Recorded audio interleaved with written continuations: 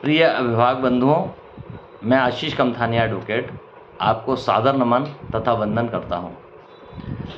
बंधुओं, जैसा आपको पता है कि 16 मई 2023 से जीएसटी ऑफिसर्स आपके व्यापार स्थल पर विज़िट कर सकते हैं मित्रों, पूरे भारत में एक स्पेशल मुहिम चलाकर व्यापार स्थल की जाँच की जानी प्रस्तावित है हाँ आपने बिल्कुल ठीक ही सुना है।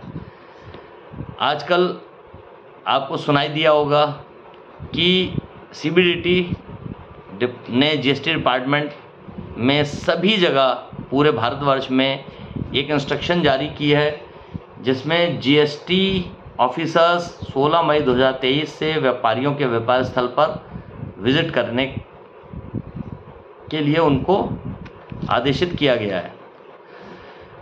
यह एक स्पेशल ड्राइव है, जो रजिस्ट्रेशन को आइडेंटिफाई व वेरीफाई करने के लिए शुरू की जा रही है।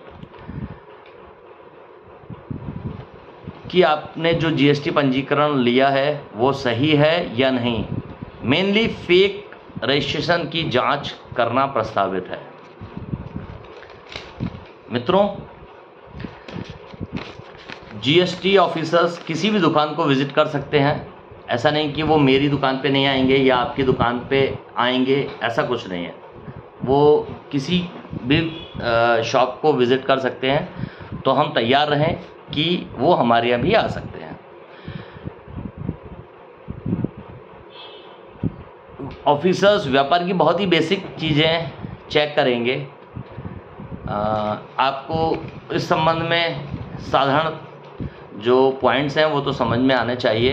मेरे हिसाब से मैंने कुछ पॉइंट्स बनाए हैं। जैसे जीएसटी लॉ में जो जीएसटी लॉ है, उसके आधार पर व्यापार स्थल पर व्यापारी भाइयों को यह कुछ सम बेसिक चीज़ों का पता होना चाहिए। आप सभी के दोस्त, रिश्तेदार घर वाले आदि कहीं ना कहीं किसी ना किसी व्यापार से सर्विस से सप्लाई से जॉब वर्क से मैन्युफैक्चरिंग ट्रेडिंग आदि से जुड़े होंगे। उन सभी के लिए मेरी यह वीडियो बहुत ही उपयोगी है। कृपया ध्यान से सुने और समझें। आपके बिज़नेस के लिए क्या क्या चीज़ें मैंडेटरी हैं जो आपके व्यापार स्थल पर होनी चाहिए? नहीं तो अधिकारी आपको नोटिस दे नोटिस इशू कर सकते हैं पेनल्टी लगा सकते हैं। जैसा कि आपको मालूम है जीएसटी ऑफिसर्स आपके व्यापार स्थल पर 16 मई से 15 जुलाई के बीच ये दो माह की जो स्पेशल ड्राइव है, उसको चलाकर विज़िट करेंगे। जिसमें ऑफिसर यह चेक करेंगे कि आपने जो जीएसटी पंजीकरण लिया है, वह बिज़नेस के लिए लिया है या नहीं? तो ऑफिसर्स आपके आएँगे और चेक करेंगे। क्या क्या चीज़ चेक करेंगे? आइए उसको समझते हैं। हमने कुछ चीज़ें जो जीएसटी लॉस में वर्णित हैं, वो आपकी दुकान पर, शॉप पर, व्यापार स्थल पर, फैक्ट्री, गोदाम, ऑफ़िस, जो भी आपका व्यापार स्थल है, वहाँ पर ये चीज़ें होनी चाहिए। नंबर एक, हमने जो लिस्ट बनाई है नंबर एक में, दुकान जहाँ व्यापार स्थल आपका मुख्य व्यापार स्थल है, जिसे हम लोग प्रिंसिपल प्लेस ऑफ़ बिज़नेस कहते हैं, मुख्य व्यापार स्थल पर सबसे पहले दुकान के बाहर एक बोर्ड लगाना चाहिए, जिसे हम लोग साइन बोर्ड कहते हैं। ये साइन बोर्ड पर आपका फर्म का नाम जीएसटी नंबर उस पर एड्रेस प्रोप्राइटरशिप में अगर फॉर्म है तो प्रोप्राइटर का नाम, उसका मोबाइल नंबर ये सब चीज़ें होनी चाहिए। साथ साथ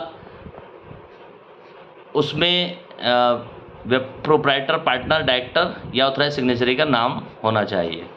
व्यापार क्या है?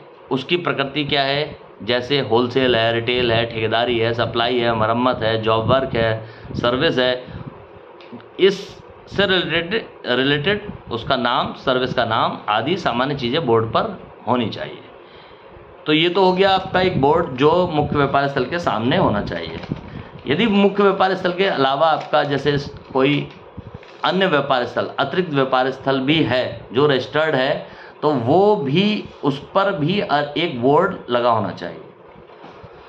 यदि बोर्ड नहीं लगा होता है तो क्या होगा?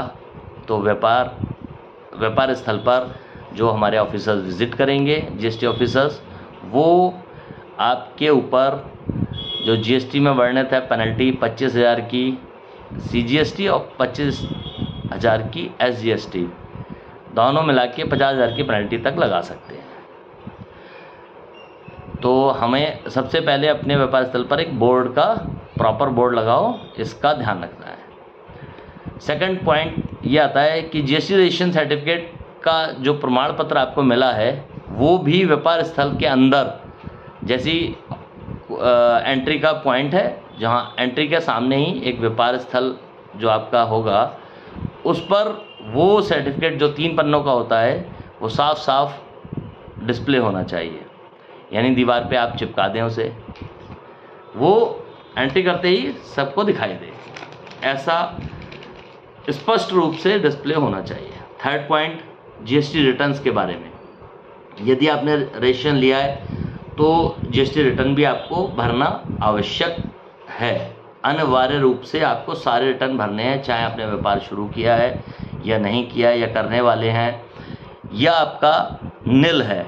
यानी कोई खरीद बिक्री नहीं हुई। फिर भी आपको जीएसटीआर हम लोग जीएसटीआर बोलते हैं रिटर्न्स को तो वो आपको भरना अनिवार्य है। जैसे किसी ने कंपोजिशन स्कीम में यानी छोटा व्यापार है तो उन्होंने कंपोजिशन स्कीम ली है तो हमें व्यापार स्थल पर भी बाहर जो बोर्ड लगा है, उस पर लिखा होना चाहिए कंपोजिशन स्कीम के अंतर्गत। जीएसटी रिटर्न के बारे में हम लोग बात कर रहे थे। कि जैसा आपको पता है कि जीएसटी में रिटर्न भरना अनिवार्य है। G S T R one G S T R three B commission वालों को G S T R four और सालाना रिटर्न नाइन और नाइन ए नाइन सी आदि। जैसे जैसा व्यापार है, उसके हिसाब से भरना अनिवार्य है। तो ये आपको रिटर्न मासिक या त्रमासिक भरना होता है, चूँकि अनिवार्य इसलिए सबको भरना ज़रूरी है। बहुत से व्यापारी कभी कभी जैसे ठेकेदार हैं या सर्विस प्रोवाइडर हैं तो उनसे मांगा जाता है कि भाई आपका जीएसटी है तो वो जीएसटी ले लेते हैं। रजिस्ट्रेशन तो ले लेते हैं, लेकिन उन्हें पता चलता है कि हमें अभी काम तो मिला नहीं, इसलिए वो भूल जाते हैं। रजिस्ट्रेशन लेके घर बैठ जाते हैं और कोई रिटर्न नहीं भरते तो वो उनके साथ मुश्किलें आएँगी।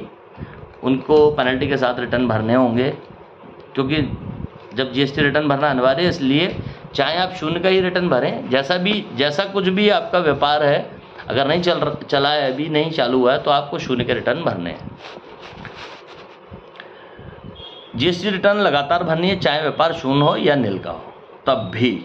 यदि आपकी जीएसटी रिटर्न पेंडिंग है तो जाइए, सबसे पहले अपनी सारी रिटर्न भरिए फ़ाइल कर दीजिए, और सबसे अंतिम रिटर्न जो कि मार्च की गई है, आपकी थ्री बी और G S T R one दोनों के प्रिंट निकाल के अपने पास रख लीजिए। क्योंकि जब ऑफिसर आपके व्यापार स्थल पर आएँगे विज़िट करेंगे तो वो आपसे आपके अंतिम रिटर्न की कॉपी मांग सकते हैं। तो वो सबसे लेटेस्ट रिटर्न की कॉपी वहाँ पर होनी चाहिए। चौथा पॉइंट बुक्स ऑफ़ अकाउंट ये सबसे महत्वपूर्ण पॉइंट है। बहुत सारे लोग को पता ही नहीं है हमें कौन सी बुक्स ऑफ़ अकाउंट बनानी है, यानी किताबें कौन कौन सी रखनी है। जैसे खरीद बिक्री तो कर ली हमने, खरीद के लिए हमारे पास पर्चे आ गए और बिक्री के लिए हमने एक बिल बुक छपवा ली। इसके अलावा भी बहुत सारी चीज़ें जीएसटी कानून में वर्णित हैं। कम से कम कुछ ये मिनिमम चीज़ें हैं जो आपको बुक्स ऑफ़ अकाउंट व्यापार स्थल पर होनी अनिवार्य है। जैसे sale purchase register ITC register खरीद बिल, बिक्री के बिल, खरीद बिक्री लेज़र स्टॉक रजिस्टर आदि आवश्यक प्रपत्र हैं जो जीएसटी ऑफिसर्स व्यापार स्थल पर विज़िट करते ही आपसे मांगेंगे। यदि दिखाएँगे तो बढ़िया, नहीं दिखाने पर नोटिस पेनल्टी आदि का प्रावधान जीएसटी में जो वर्णित है, उसके हिसाब से आप पर कार्रवाई कर सकते हैं। पांचवा पॉइंट, स्टॉक का वेरिफिकेशन। एक बहुत महत्वपूर्ण सम ये पॉइंट है। स्टॉक के वेरिफिकेशन के संबंध में जीएसटी ऑफिसर स्टॉक रजिस्टर के अनुसार आपका स्टॉक वेरीफाई कर सकते हैं। स्टॉक के बारे में आपको पता ही होना चाहिए कि यहाँ पर कई तरीके, कई पॉइंट का अलग अलग स्टॉक भी हो सकता है, जैसे पाँच परसेंट का, बारह परसेंट का अट्ठारह परसेंट का, अट्ठाईस परसेंट का। ये सब अलग अलग आपके पास स्टॉक रजिस्टर में अंकित होना चाहिए और उससे फिजिकली स्टॉक जो आपकी शॉप गोदाम, जैसा भी व्यापार व्यापार स्थल है, उससे मैच होना चाहिए। एक और पॉइंट है, अगर आपका व्यापार स्थल के अलावा स्टॉक रखने का एक स्थल अलग है, जो जीएसटी में आपने दर्ज नहीं कराया है तो आप मुश्किल में आने वाले हैं। अगर जो रजिस्टर्ड व्यापार स्थल है, इसके अलावा, जिसे हम लोग प्रिंसिपल प्लेस ऑफ़ बिज़नेस कहते हैं, इसके अलावा भी कहीं अगर आपका स्टॉक रखने का स्थान है, या मैन्युफैक्चरिंग का कोई जॉब वर्क का कोई जगह है तो उसको आप फटाफट अपने जीएसटी रजिस्ट्रेशन में दर्ज करा लें। अन्यथा की स्थिति में आपको बहुत सारी परेशानियों का सामना करना पड़ सकता है। ये सारी सामान्य जानकारियाँ जो आपको पता होनी चाहिए तथा रजिस्टर्ड एड्रेस पर सभी उपलब्ध होनी चाहिए, ताकि जीएसटी ऑफिसर के विज़िट के दौरान आप उन्हें सारी चीज़ें समय पर उसी समय वेरीफाई करा सकें। यह स्पेशल ड्राइव संपूर्ण भारत में जीएसटी के फेक रजिस्ट्रेशन के लिए शुरू की गई है। तथा अगले दो माह तक लगातार चलेगी। यदि आप परेशानी से बचना चाहते हैं तो सब व्यापार स्थल पर उपलब्ध होना चाहिए जिससे जीएसटी ऑफिसर आपके ऊपर पेनल्टी ना लगा सके कोई अन्य कार्रवाई ना कर सके। सभी आ, अभी आपके पास समय है कि आप यह सब रजिस्टर आदि उपलब्ध करा लें ताकि आपको जीएसटी ऑफिसर परेशान ना कर सकें व आप पेनल्टी से बच सकें। आज चौदह तारीख है कल का समय बचा है सारी तैयारियाँ कर लीजिए। आइए, हम लोग कुछ और जीएसटी से रिलेटेड कुछ और पॉइंट्स पर डिस्कशन कर लेते हैं। जीएसटी में पेनल्टी नोटिस ऑफिसर विज़िट छापा आदि से बचने के लिए आपको बहुत ही सावधानी से अपने पास कुछ प्रपत्र रजिस्टर और अकाउंट्स आदि रखने हैं। कुछ सावधानियाँ जो आपको प्रत्येक बार करनी है। कैसे? नंबर एक व्यापार शुरू करने से जब व्यापार शुरू करते हैं तो हम सबसे पहले क्या करते हैं? खरीद करते हैं। तो खरीद करने से पहले जो सावधानी आपको बरतनी है, आइए उस पर चर्चा कर लेते हैं। सर्वप्रथम खरीद करते समय सबसे पहले ऑनलाइन ये चेक कर लीजिए कि जिस पार्टी से आप खरीद कर रहे हैं, उसका जीएसटी नंबर एक्टिव है या नहीं। कहीं उसका जीएसटी सस्पेंड या कैंसिल है तो आप उसके साथ व्यापार ना करें। नंबर दो, अब खरीद कर लिया तो बिक्री भी करनी है। प्रत्येक खरीद प्राप्त होते ही खरीद रजिस्टर पर उसकी उसे अपनी खरीद को रिकॉर्ड करना है। स्टॉक रजिस्टर पर स्टॉक बढ़ाना है और आईटीसी रजिस्टर पर प्राप्त आईटीसी एंट्री करते हुए क्लेम कर लेनी है। तथा खरीद के साथ प्राप्त हुए बिल ई वे बिल काटा पर्ची, अन्य कोई प्रपत्र जो आपके व्यापार से संबंधित उस खरीद के साथ आया है, उसे संभाल कर खरीद वाली फ़ाइल में एक साथ पंच करके रख लें। ये तो रिकॉर्ड हो गया खरीद से संबंधित। अब खरीद कर ली तो बिक्री करनी है। तो प्रत्येक बिक्री के समय सबसे पहले ये चेक करें कि जो खरीदार है आपका, रजिस्टर्ड डीलर है तो उसका जीएसटी ऑनलाइन चेक करें। एक्टिव होने पर ही बिल जारी करें उसे। बिल बनाने के बाद यदि आवश्यक हो तो ई बिल, यानी अगर पचास हज़ार से ऊपर की सेल है आपकी तो ई बिल बनाना अनिवार्य है। ई बिल बनाए, तथा अन्य प्रपत्र और भी कुछ लगाना है, जैसे कांटा पर्ची आदि। वो सब आप नियमानुसार लगा दीजिए। तथा बिल व माल को पुनः एक बार मिलान कर लीजिए। यदि बिल ये मिलान करें कि बिल और माल आपस में मैच करने चाहिए। कम या ज़्यादा तो नहीं है। बिल पर माल, अब आइए बिल के बारे में बात करते हैं। बिल पर क्या क्या होना चाहिए? कम से कम बिल पर माल का नाम, उसका एच कोड, संख्या, वज़न, मूल्य, कुल मूल्य, जीएसटी लगाते हुए कुल भुगतान राशि अंकित होनी चाहिए। जीएसटी किस प्रकार का लगा है? अगर प्रदेश के अंदर सेल है तो एस जी एस टी और सी जी एस टी लगाओ, और प्रदेश के बाहर सेल है तो आई जी एस टी लगाओ। अब आपको पता ही है, ज़ीरो परसेंट, पाँच परसेंट, बारह, अठारह, अट्ठाईस, इसमें से किस स्लैब का वो आइटम है, उस हिसाब से जीएसटी लगा होना चाहिए।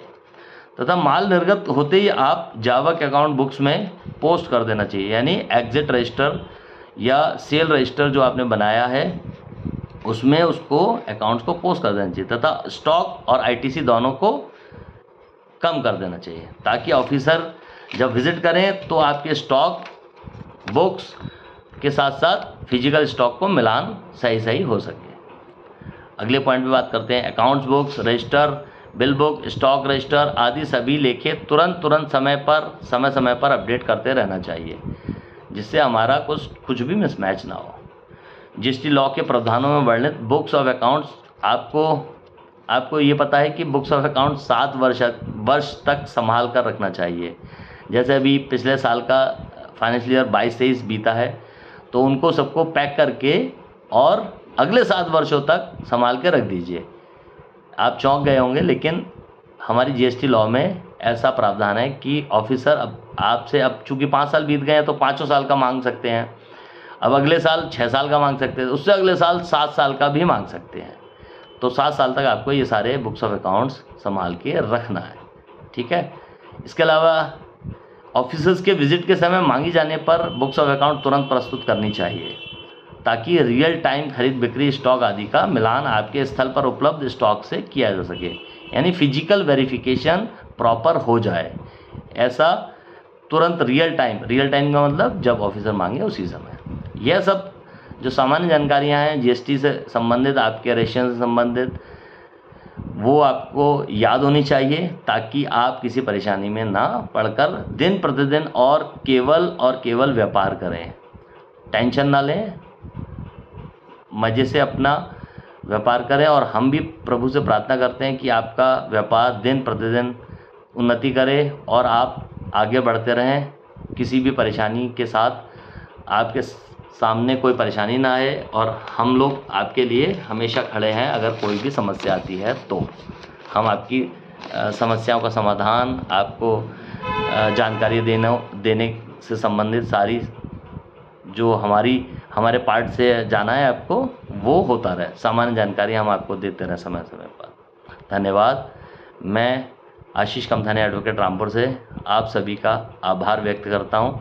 अगर मेरी द्वारा दी गई ये जानकारियाँ आपको अच्छी लगें तो आप अपने मित्रों जो व्यापार करते हैं, जिन्हें सामान्य जानकारियाँ होनी चाहिए और इस स्पेशल ड्राइव में परेशानी से बचना चाहते हैं तो कृपया मेरा ये एक बार वीडियो गो थ्रू हो लीजिए। और अगर और भी कोई समस्या है तो आप मुझे डायरेक्ट मेरे मोबाइल नंबर ईमेल आईडी पर पूछ सकते हैं और मैं आपको तुरंत के तुरंत जवाब देना चाहूँगा। अगर मैं मेरे पास उपलब्ध जानकारियाँ हों तो उनका तुरंत का तुरंत जवाब दे पाऊँगा। धन्यवाद। जय हिंद।